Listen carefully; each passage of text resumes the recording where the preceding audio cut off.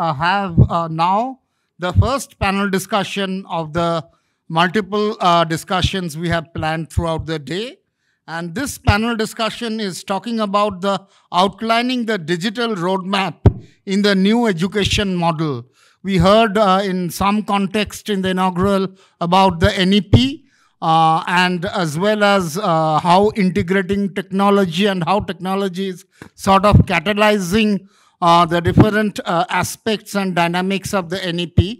Uh, so this panel discussion specifically uh, will talk about how to outline the digital roadmap for this new education model. I would like to call on stage the panelists for this discussion. Dr. Rupa Vasudevan, founder and chancellor, Bharatiya Engineering, Science and Technology Innovation University. Dr. Rupa Vasudevan, please. Okay, she hasn't reached yet. Uh, let me call Dr. Jamshed Bharucha, founding vice chancellor, Sai University, Chennai. Uh, Mr. Vishal uh, Khurma, CEO of Voxen University. Ridesh Deshpande, Vice Chancellor, Ajinka DY Patil University, Pune. Dr. Satheesh Kumar Bhandary, Vice Chancellor, NITTE University, Mangalore. Professor GPS Varma, Vice Chancellor, KL Dumtu University, Guntur. Uh, Yashwanth Shivaprakash, CEO of Audiolife School of Sound Engineering, Bangalore. Can we have Mr. Yashwanth? And uh, to moderate this discussion, uh, may I request Dr. P. Balakrishna Shetty, Vice Chancellor of Sri Siddhartha Academy of Higher Education. Over to you, Dr. Shetty, now. Good morning. Nice to have these uh, eminent panelists here. And of course, uh, if there is no mass, I think there is some class of audience here. So uh, what uh, we are going to discuss for the next 45 minutes is more of an uh, interactive session here because the audience have got a lot of uh, eminent delegates, eminent uh, speakers here. We can have more of interaction rather than uh, one-way lectures. What I would like to start with is that um, we have multidisciplinary universities, universities with multidisciplinary faculties and multidisciplinary deaneries. as far as the digital education is considered, uh, we have got NEP now. But before that, uh, we had apex bodies, and for which we need to fulfill the curricular requirements as far as apex bodies considered. We have NMC, we have got AICTE, and we have got apex bodies for each and every technical uh, uh professional schools. Uh, that's a number one. And after that, uh, we have got the students who do their own studies as per their requirement, maybe for their jobs or something like that. And we have the faculty who are uh, going to take uh, classes for these students. On top of everything, again, we have got NEP. Now the question to all the you know speakers today, how to balance all these things? Like you have got NEP one on side, you have got uh, apex body recommendations on the side, you have got the students requirement, uh, requirement on the other side, you have got the uh, quality or, or, the experience of the faculty on, on, on side. So with all these four things in your mind, it is, uh, I do not know how the vice chancellors manage all those things. Apart from all these things, we have got multiple accreditation inspections, we have got a UGC inspection, you have got an NMC inspection, you have got an NBA inspection, you have got inspection from all those uh, uh, bodies which tell you to do something as far as academics is considered, teaching and learning is considered, examination pattern is uh, considered, and above all, you have got your own student who wants to do whatever he wants to do because his career is very, very important for him. With view, uh, the few things, these things in uh, introduction, I would uh, like to, uh, I, I'd like to have my discussion today. Now, first of all, with all these things, my first question will go to uh, Hrridaysh Deshpande, who is an expert in designing curriculum, not only in curriculum, he is also expert in finding out how the how the faculty should how the faculty should do their uh, classes, how the students should do the classes. Because initially we thought it is only teaching, teaching, teaching. Okay, we used to have our own students within the four concrete halls, and the faculty used to give the lectures. Today, it is not the teaching because the students will learn something. The COVID has taught us that it is not the teaching, it is the learning. Students will learn from anywhere. They can learn from any school. They can learn from Harvard. They can learn from Stanford. They can from any school today, and they can come back to the classroom with all the knowledge in their mind. So, Hrridaysh Deshpande, if that is the situation, how would you, you know, how would you design the curriculum for your institution? Your two minutes, please. You can speak from there or you can here. You can speak from there. Also. So thank you, Dr. Bala, uh, for that question. Uh, very important question because uh, just to give you a little brief background in the sense of uh, because the entire education revolves around credit and credit is a word which has been very widely used and nowadays it's in vogue uh, due to the UGC and all those documents that are coming up which says choice-based credit system and whatnot. Interestingly, uh, the credit, uh, if you look at its birth, it was 1905 and uh, at Carnegie Foundation it was then called the Carnegie Unit. I don't want to go into the entire story but the story in, in short was Carne Andrew Carnegie, who was the richest man at that time, left $10 million for a pension fund for teachers and they couldn't, they wanted to organize it in some way and so they came up with this thing called Carnegie unit and that then that became the standard unit of academic measurement. All through these years, it has always been about the teaching time because the credit as an academic unit was more uh, designed with the purpose of administrative aspects of what is the load, what is the factor, what are the resources required, and so on and so forth. There was never a student learning proportion that was ever added to it. Of course, in 2008 and uh, in the US and 2009 in Europe, the definition of credit, the new definitions came up, and where they added the component of student learning time also.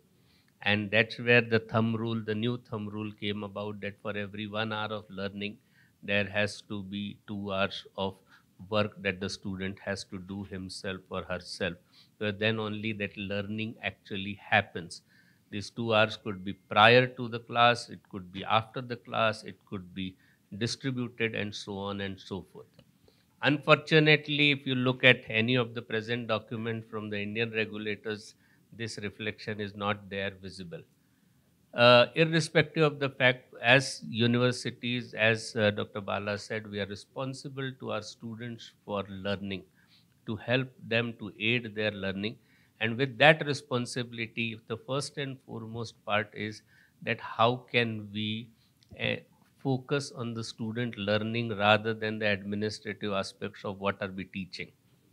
The second thing is, uh, again taking a cue from what Dr. Bala said, there are so many things that are being told that the student should know this, the student should know that, the student should be taught this, the student should be uh, told about this and so on and so forth. And in that, there is, a, in a very, very interesting manner, it, there is a maximization of education that is happening, which in my opinion should go the reverse. It should be minimization of education, that is what, how much education you actually need for the student to have so that you can do it in a more focused manner and where it could actually mean something rather than you teaching just what you want to teach and just because that is where you have to satisfy certain requirements. And in between these contrasting things, because on one hand, these are the educational thoughts, and on the other hand, you have the regulatory bodies. So it's a kind of a balancing act, but then if you uh, do it with the right intent, you can definitely balance it very well. But I would uh, just like to say, to close my, on my point, A is the student learning time or the student learning. Both are these are the important units of measurement as far as any academic process is concerned. Second is the student reflection because in our uh, teaching and learning we hardly give impetus to uh, the reflection by the student in terms of to understand what the student has learned, how much the student have understood, and what is the student likely to make use of and how. So those aspects we do not focus on much on. So the reflection is the third. And the uh, second and the third would be the assessment that the assessment where especially the formative assessment in conjunction with the reflection by the student these are there's the trinity of these three things uh, with the oversight of minimizing education should lead to good results. Back to you again with the questions, okay? Uh, the second speaker, we have got a great speaker here. Um, he has is a founder vice chancellor of uh, Sri Sai University, Chennai, and he has worked abroad in Tufts University and he has also given lectures and he has worked as a faculty in Harvard University, Stanford University and Carnegie uh, Mellon University. Dr. Jamshed uh, Bharucha here. Dr. Jamshed, I got a question for you and I think uh, you can uh, build your talk on that. we have our education policies here. We do a lot of education here. But even then, we see a lot of students going from this country to other country. They're going to, most of the time, they're going, going to US. And if you see even in the US, the most of the leading doctors, the leading engineers, maybe in NASA, maybe in lot of corporate CEOs, most of them are Indians. Okay, and often we feel whether the seed is bad or the soil is bad because our students go abroad and perform extensively. If you see there is a spelling bee, the winner will be an uh, Indian. If there is a math bee, the winning will be an Indian. If there is some competition, space, science, technology, and everything, most of the times we see the top Indians performing very well abroad. So this brings up the question whether the seed is bad or the soil is bad. And, and definitely we feel that there is something wrong here. So what do you find right when the students come over to US. Because you have worked as a provost, you have worked as a vice chancellor, you have worked as a dean, you have worked as a faculty, you have seen so many things happening there. Now, as a psychologist, also an expert in psychology, what do you feel, what we should need to do? Because you come back as a vice chancellor of Sri uh, Sai University in Chennai. So I would like to ask so that our delegates and also our, vice chancellor learn from you what what should be the way because now the students are bombarded not only with the curriculum now they have to uh, read so much of uh, morality and so many things are bombarded the like extracurricular activity as a leader of all these things how do you design how do you give your psychological consultation what is your uh, input on these things as well as a digital education is anything which students have to do what is your uh, thoughts on these things thank you very much and actually is probably the most critical question. Uh, what is it? Why do Indians fly abroad uh, and not so much here? And I actually I don't hear that asked very often. I appreciate it because I think it's a dead honest question uh, that I've asked many times after 40 years in the US. I came back to India because of the NEP and the re regulatory framework was cracking open, and I saw for the first time. I'll be blunt about it, and I'm, I'm writing an article right now about it. the higher education system in India has failed our youth, period. We inherited it from the British uh, 75 years ago, including the UGC.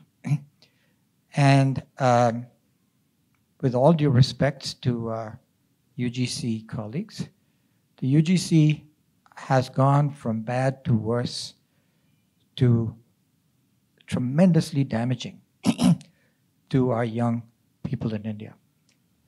And uh, I, I, I want to give them a chance now that they are implementing the NEP, but don't forget, NEP called for the elimination of UGC as a regulatory body, and I suppose it was not possible uh, for any government to uh, to do that to a completely entrenched bureaucracy. So instead, they asked the UGC to implement the NEP, and I commend them for their courage and some of the things they're doing. But I've done a lot of study of the Indian higher education system uh, since independence and come to this conclusion. There's only one truly innovative thing that India did between independence and NEP to really unleash this enormous pool of talent that India has. And that was the creation of the IITs. Okay? It, which was so counter to the traditions before that. uh, and as we know, uh, has enabled Indian talent to reach the heights that it has achieved today by enabling India to be a leader in, in technology. But since that time, uh, the system has been more and more stultifying, and it's opening up now. I, as uh, was mentioned by our distinguished uh, moderator, having been in the US so long, I have taught Indian students from the other side and seen them coming. And it's very starkly clear uh, what happens. The traditional model of rigid curriculum, uh, mugging up, uh, high stakes examinations that determine the future, your future, has led to an unbelievable cynicism about the system by our young people. and uh, I say to my own colleagues on the faculty, and I see myself as being a faculty member, coming from the faculty, and to teachers and parents, you are the problem. Um, we need to lecture our kids less and listen more. Now that's so countercultural, okay? But we all know India has the largest youth population in the world. In fact, half of the university age population in the world, as defined by UNESCO, is in India. That's a staggering number. And the rest of the world today, when I was growing up in Bombay long ago in the 1970s, India was seen as a basket case, inside and outside. And now you go outside India, and India is seen as this breeding ground for geniuses. But why do they not have the same opportunities here? And I think it's our system. My view is very radical. The government should get out of the way, full stop, and not regulate, except for uh, good, good, governance, corruption, all of these things have to be uh, properly monitored. Uh, let a thousand flowers bloom. Let everybody on this panel and out there who's involved in uh, reforming higher education, who's essentially genuinely focused on the children, on how their future can be preserved. Let as many different innovations and ideas that are coming up by startup companies, by, university, by, by education scholars and innovators flourish. and frankly, let the marketplace judge uh, what kinds of graduates uh, are the ones that we want. The, uh, the high stakes exams, I, I, I, I'll, I'll end very quickly. Uh, there are many points that the the NEP touches on that I hope will be taken seriously. My own field, cognitive neuroscience, there's a huge amount of research now on how the brain learns. And almost everything we've done in traditional forms of education uh, actually opposes how the brain learns most efficiently.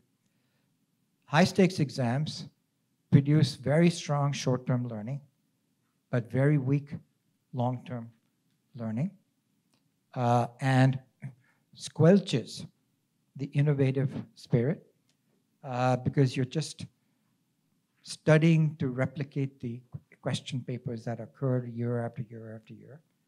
Continuous forms of assessment are important. Testing, not just for assessment, but as a learning tool, the research shows is extremely powerful. So test every week. Test and divide the weightage of the course throughout the entire semester. And what that will do is the testing process itself improves learning. This generation, we all know as parents and teachers, students cannot attend to a 45 minute lecture. The top 10 or 20% of students in any college will attend. They will pay attention, they will learn. In any system, they'll do well. But the remaining 70 or 80%, uh, we are letting go. Now, finally, digital technologies. I see what's happening today, which is a tremendous sea change that was facilitated by the pandemic as in its infancy.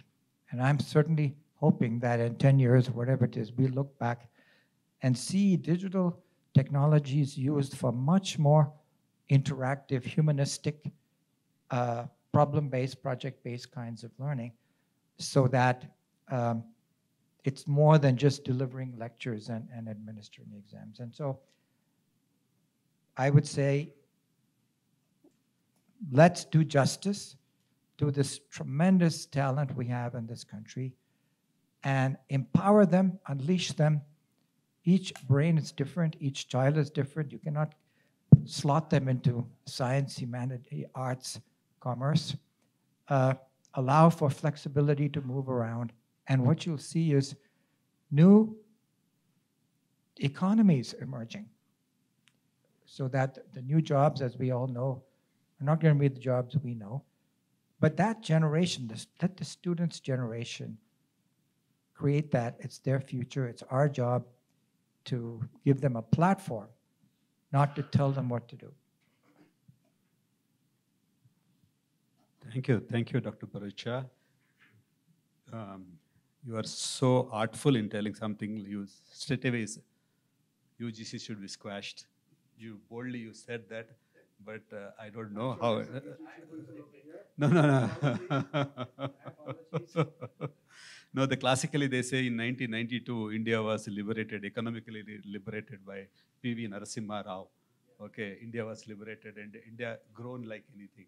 That's what they say in 1992. Yeah, Lakshmi was uh, liberated, but the Saraswati is still not liberated. It is in the hands of UGC and all those uh, accreditation bodies. That is the that is the that is uh, I don't know what to say about that. And you rightly analyzed the student psychology, and you said how nicely you said because I also have worked in uh, University of Texas as a radiologist and Baylor College of Medicine as a radiologist. I know how students should be liberated, how they should be given autonomy so that they can blossom and they can flourish. That's a point, very good point taken. I think we'll take more questions. Uh, right now we have got uh, one more great speaker. Uh, he has done extremely well in the corporate world. And uh, right now, the buzzword in uh, universities, is industry, academia collaboration. I'm a radiologist, but I don't deal so much with the uh, engineering college, but we do have a lot of engineering colleges, and we keep on talking about industry academia collaboration, industry academia collaboration, industry academia collaboration. We keep on repeating these stuff. We have uh, Vishal Khurma here. He's a he's a stalwart in the industry and he has done a lot of things in his in his institution as a CEO, um, and a lot of industries he brought inside the in the in the campus, and he gave a lot of scope for his students to expose to uh, industry. He has done a lot of things. Uh, and he was a chief executive officer at Woxsen University, and uh, he was also board member of uh, many of these corporate world.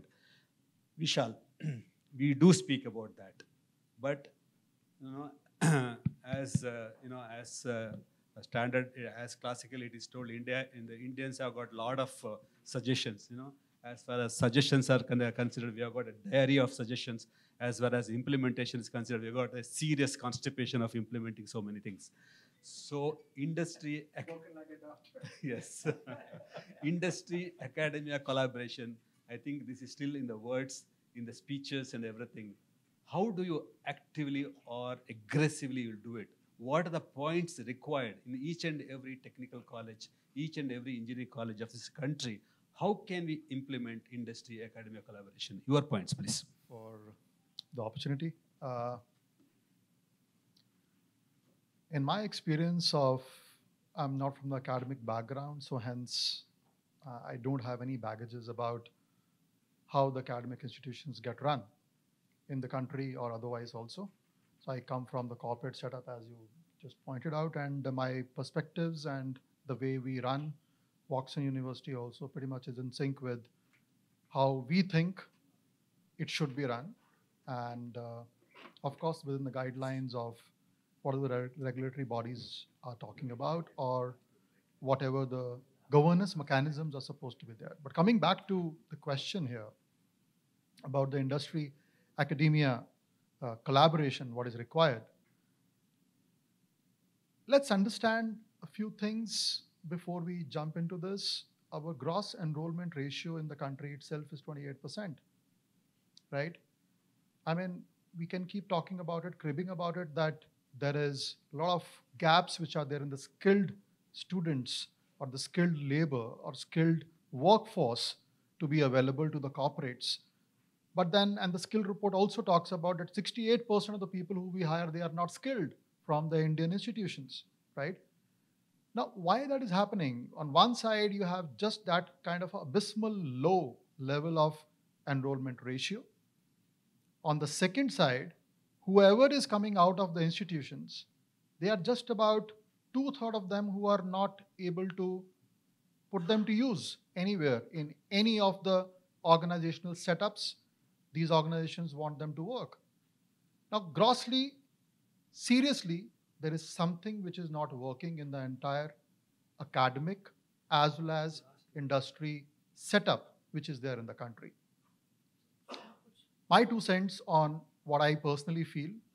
Uh, I have not done any deep study or whatever, but I, I have definitely done probably more than 5,000 interviews during my entire career of about 23, 24 years. And I have seen what kind of people we are looking at when I'm hiring from this side of the corporate side and what I'm able to get when they're sitting in front of me and answering certain things about what they can bring onto the table. The corporate is brutally honest. They are brutally honest in terms of what they need in the corporate when they are hiring someone. They need X skill sets which need to come and they, this person should bring onto the table. And if that is not there, they will simply not go ahead with them. And if that is the case, and they are going to be brutally honest, they will not go for whatever your relationship with the academia is, then we need to change the ways in which we get our students skilled. Now, today, the first key thing which I feel is most of the institutions, we talk about 20,000 plus uh, educational institutions in the country and so on, and standalone, there's many more. Why the focus is only on content-based learning? The content which the student wants to learn, you have Google School available, you have YouTube schools available, you have many other schools also online available who are able to give that content free of cost anyways why are you running a university man you don't need to. So that content in any ways is available to the student and it is not a question of relevance also anymore. My younger one who's just in ninth standard he is able to talk and see through how the coding is done without even going to and without even signing up for a btech program by the way. Thanks to google. Thanks to youtube. Right? So content based learning is something which is i think it's old fashioned it is no longer the requirement of today's india. What is required then?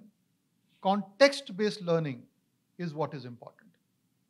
You're talking about delivering certain things certain domains which are required but the students are not able to put those domain knowledge into a certain context. And that context is missing today when you interview somebody and you see that okay you may be knowing what a blue ocean strategy or a red ocean strategy is but you're not able to figure out that how you're going to navigate your way if you're running a startup You just don't know it. How the revenue model is going to work and how the P&L commercial is going to work for a particular organization, you're not able to do it because we don't have that context. That is not there. So that is the first point I would like to mention here, that context-based learning is very, very critical, which is about applied learning, experiential learning. The next logical question comes then, and sorry, many academicians would be there in this room. We are doing this, right? So what is so different you're talking about then? I mean, yeah, we, we do all of, all of this the entire day at the university campus. Yes, you may be doing it, but then is it really translating into the learning of the students? Probably no, because I think what when we think experiential learning, you talk about, oh, I have given them assignments, and those assignments are uh, in the nature where they would be able to bring their contextual knowledge or application of those concepts which we have taught them in the class. But then is that enough? Probably no. You need live projects also along with that. You need many of those opportunities which are there towards ensuring they step up and get into a startup, get into a organization, get into a corporate before finishing their degree to ensure they are able to get the hands-on knowledge of what is required in the corporate world. Today, the students forget about the skills in which they can crack the interview. They don't know how to write the CVs. They don't know how to write the CV sometimes. They don't know the CV is going to be the first thing which is, which is going to bring them onto a table in front of a talent acquisition lead of an organization who's going to interview them. And if the CV is there, you go through it, the CV is so bland and so, so myopic, you are not able to figure out that how would you invoke a discussion with the interviewer using the same CV. Because you have not done something relevant which you can talk about. You have not mentioned about it. You can't talk about what your learnings from that project was. You have not done the capstone projects. You have not done the internships. And if you have done the internship, you have not done it enough and you have not done it with due diligence, what it was supposed to be.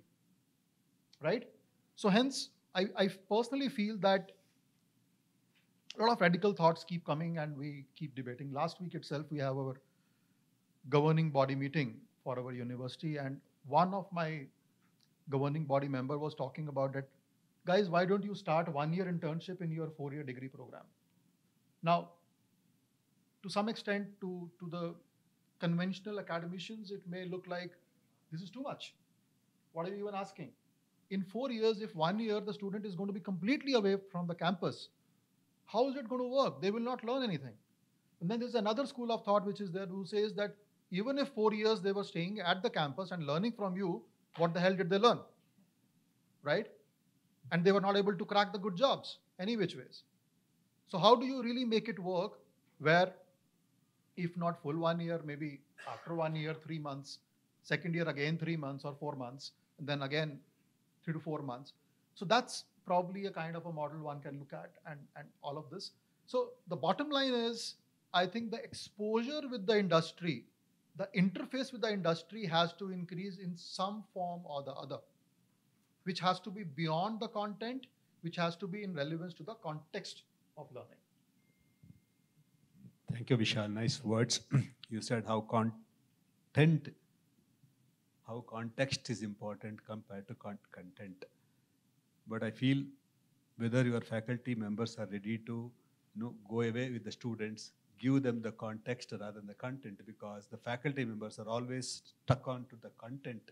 They are ready. They are always uh, on their on their foot to deliver the content, and they are not at all interested in giving the context to the student. I think that is the that is the major problem you are facing in each and every uh, any institution. We need to, we, we, may have to train our faculty members, and I, I, don't know how to do that because they always try to hold the students in the four concrete hall as much as possible.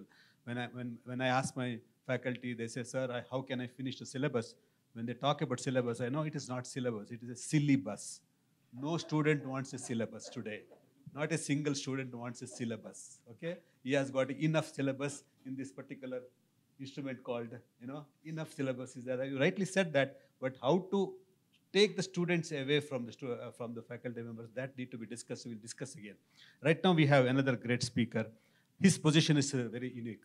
He's a surgeon, he has done MBBS, and he is a ear, neck, and throat surgeon. And I also would like to tell you, when we are speaking, we are not speaking to about uh, 20 members sitting here. If you are speaking to uh, Satheesh Bhandary, you may be speaking to around 20,000 students. Okay, because he is a vice chancellor of NITTE University and more than 20,000 students. Okay, Satish, uh, the question is, uh, we have again, I told you, you have got NEP, we have got a uh, UGC, we have got NMC, and you are managing a medical school. You have got a uh, you have got a MBBS students. Okay, Sure. Uh, I don't know how much content is not, not not at all important for the medical student. The context may be important.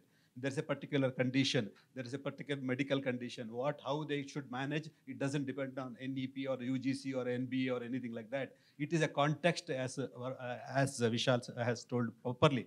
Now, how do you implement in your medical college this particular context, teaching context to your students? Uh, your your thoughts, uh, Satheesh, please.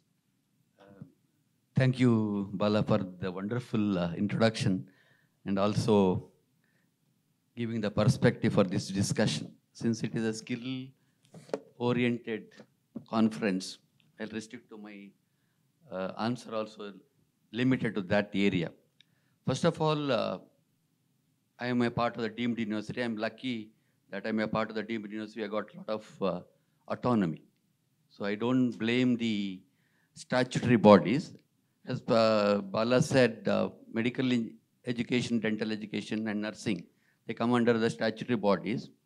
But still, I don't blame the statutory body for all the maladies. I think, according to me, we are responsible for everything. As because I was also like Bala, teaching profession for the last uh, 35 years.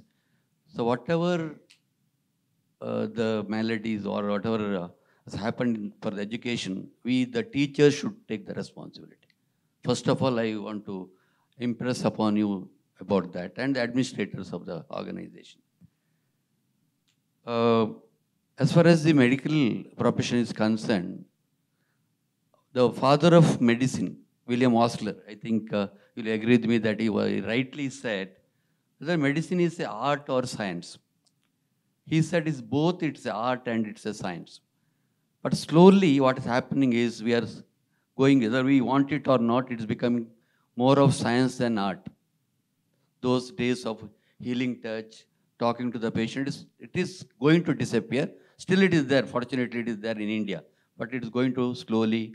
We, are, we have to imbibe a lot of technology for the sake of uh, giving better care, larger access to the patients, because India is a 1.4 billion population. So our curriculum or whatever you deliver in the medical colleges or educational institute, maybe nursing or dental also, should be oriented towards giving more technology also. If you don't do that, I think you'll, the the next uh, one or two decades will become totally outdated.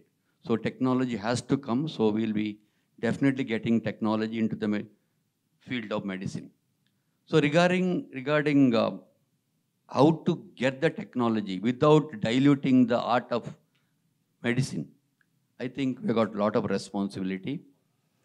What uh, we did, by my experience, I am telling you, during COVID-19 has given a lot of lessons to us. It may be a, uh, a century, uh, one of the most biggest calamity the human race has faced.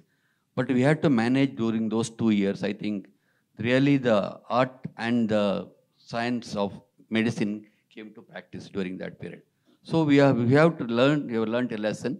It is the future generation, such calamities when they come, our generation of, because I'm limiting to myself, even though I have got uh, other um, faculty, faculties in my institution. Since uh, Bala has told me to mainly concentrate the field of medicine, I will restrict to that area because my esteemed colleagues are representing various other technologies.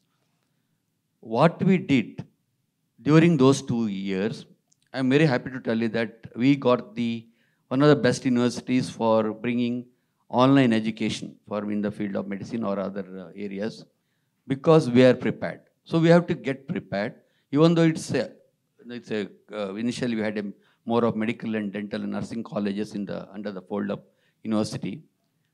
we brought e-learning.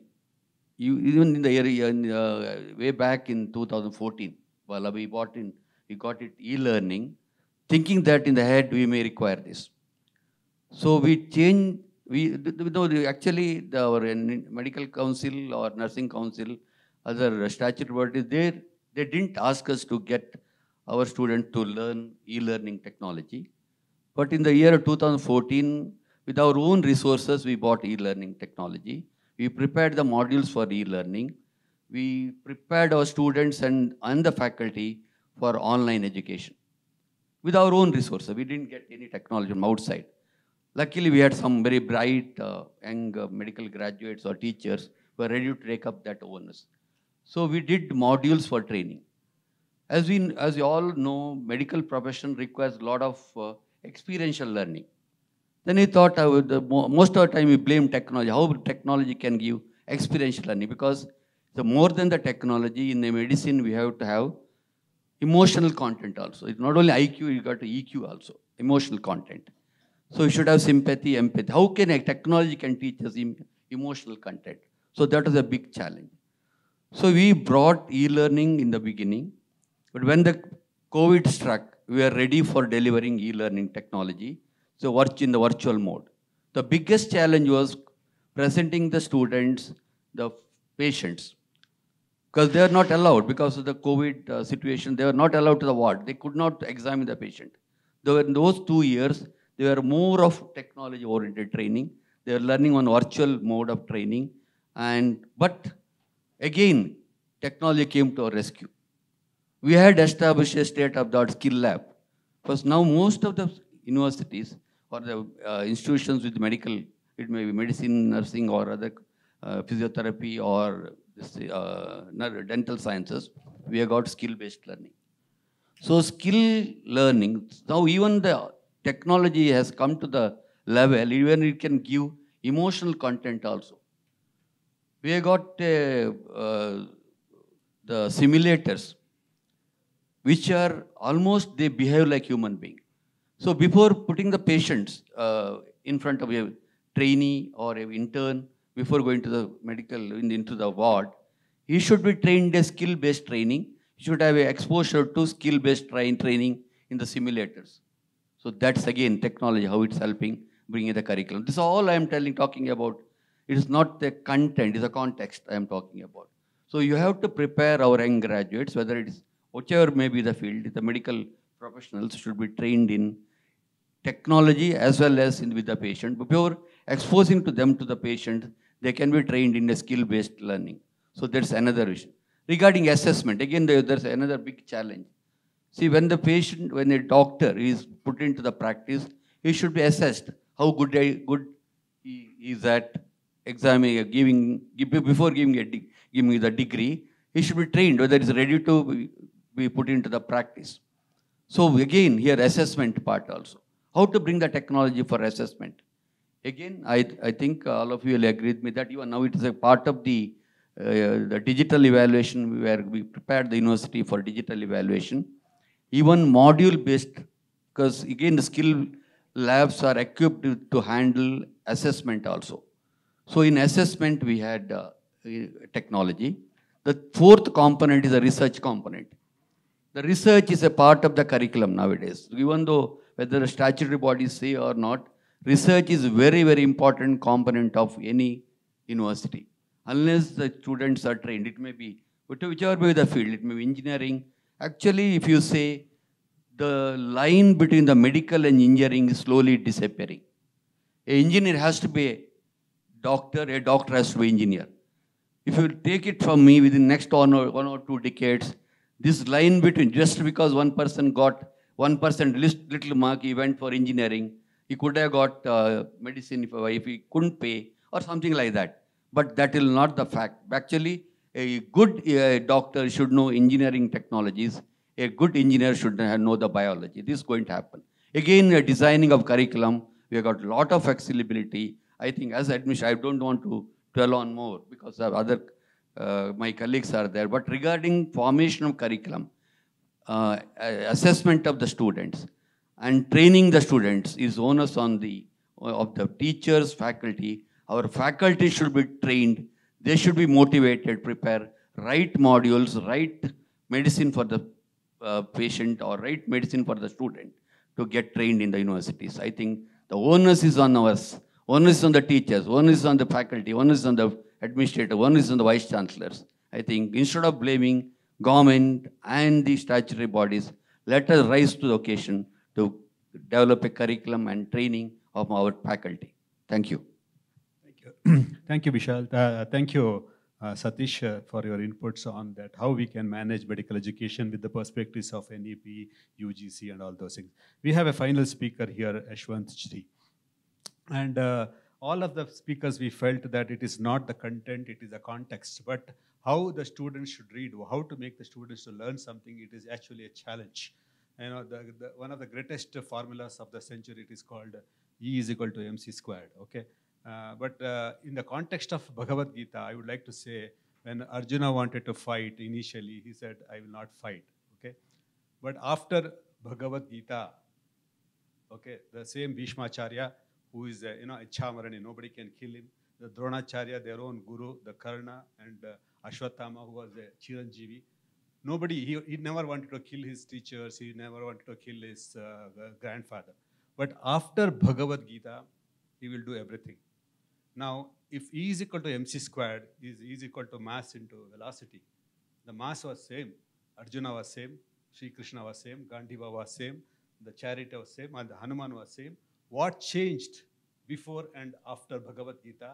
So the, the, the question of the, the, the, you know, the, the rule of E is equal to mc squared fails miserably as far the biology is considered. It may be the same for the physiology, physics, but not for biology. And I always tell my students, E is equal to mc squared. E, there M is not mass, it is a motivation. So E, the energy of the student increases with the motivation into velocity and the action. So that is my favorite talk on E is equal to mc squared. And Yashwanth ji here, he says, we can motivate the students with arts, science, and culture and the music. That is his music uh, uh, platform where he wants to motivate the students so that their performance will increase. Yashwanthji, your inputs on how to motivate our students. Okay, thank you, and uh, it's a wonderful opportunity by uh, APAC over here. And firstly, it's an honor to be sitting with all the seniors around uh, in the discussion panel. And uh, hello to everybody over here, firstly. And as you speak, I think my particular uh, field, uh, that is entertainment and media industry, when I come from Media Entertainment Skill Council, a Skill India initiative, we have collaborated with them, I think, about since about 10 years at the present moment. And officially, it's, it's about four years to five years. Uh, so this is totally a different particular topic when we speak about music and audio. It comes out of uh, various subjects and uh, you know or topics which has been involved in a university. We focus on only one particular subject called audio, and we it's in, into the entire uh, audio industry. Even while I'm holding my mic again over here, there's a lot of techniques. You know, I can't speak like this. I just need to have it over here. So that's a part of our partic particular syllabus just the way you say that. but again, it all acts as uh, you know techniques, and it's all about uh, basically uh, an experience by uh, you know having your recording arts techniques or uh, you know anything which we would come up to make sure they are industry trained and you know they need to be present to go and start working you know, you know with an hands-on experience.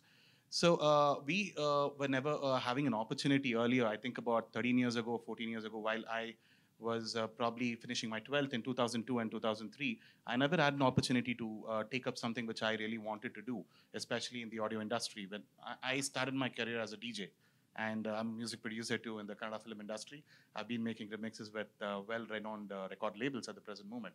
So while I uh, started back then, maybe now the students have multiple options, but it still needs to be reached out to them from the Skill India initiative. Not much know about what is Skill India and what are the initiatives and what are the benefits of it.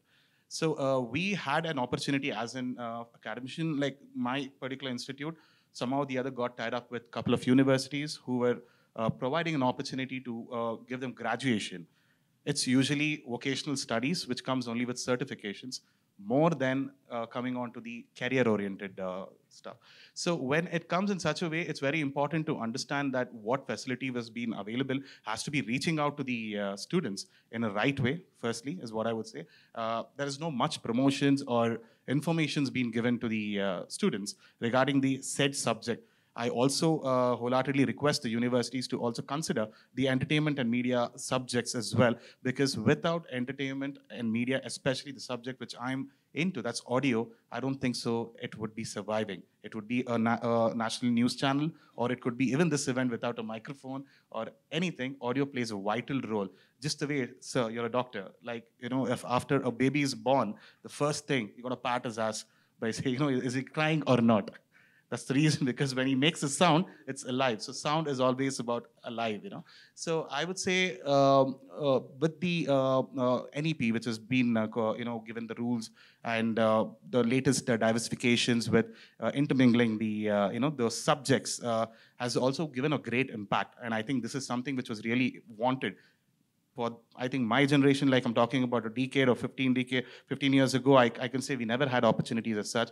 We were restricted to hold on to a few subjects, uh, sorry, uh, to topics as well. But it, it is now an opportunity, and that's going to upscale them, you know, uh, intellectually. I think they can work as team leaders, and I'm sure that they can enhance their skills and make sure they can make a way for themselves. Rather, uh, thinking about uh, you know something later that you know uh, I would call it as regretting. Uh, you know, it shouldn't have happened. They have two possibilities: one, what they wanted to shape up with, as well as they have learned something along with it. Uh, so I think uh, also I would like to say there are a lot of multiple options uh, which the uh, government has already provided. That is the latest uh, budgets I'm talking about. That's regarding the uh, vocational courses, which I think they have an option for the loan options, if I'm not wrong, about certain amount which has been provided. It's just that through the APAC platform, if I, it could reach out to the concerned team and if in case the budget could increase more because the, there is a restriction, uh, I could say that, you know, a 50% of the amount which could be given as a loan sanction only. And I think if it could be increased much more, I think it would be uh, much better for the aspirants, uh, is what I could uh, definitely say.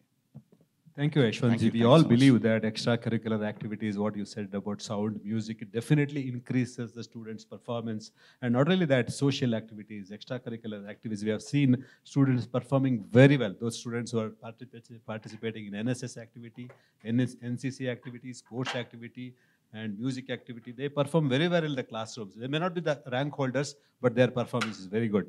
So, uh, with these few words, we have finished the interaction with all the vice chancellors, CEOs, uh, and this message I would like to say will be going across uh, all your institutions. That is a great thing. And uh, if at all, I think we have got two more minutes. Uh, in that case, uh, we can take some questions. Any any questions for the speakers? Anything? How much time you have? Finished. Okay. So, if there are any questions. Okay, uh, if there are uh, no questions, uh, uh, maybe one sentence, uh, conclusive remarks. One sentence. we should enable our young people to develop and unleash the talents, the unique talents they bring into this world. Uh, we, as the elders, actually are not, are never good at predicting the future. Uh, history will tell you that. So, whatever talents they bring, help them develop those to the fullest, and I think the future will take care of itself.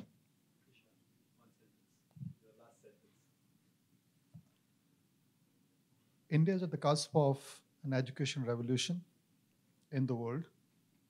And I think India has the potential to create many, many Oxfords and Harvards within India itself.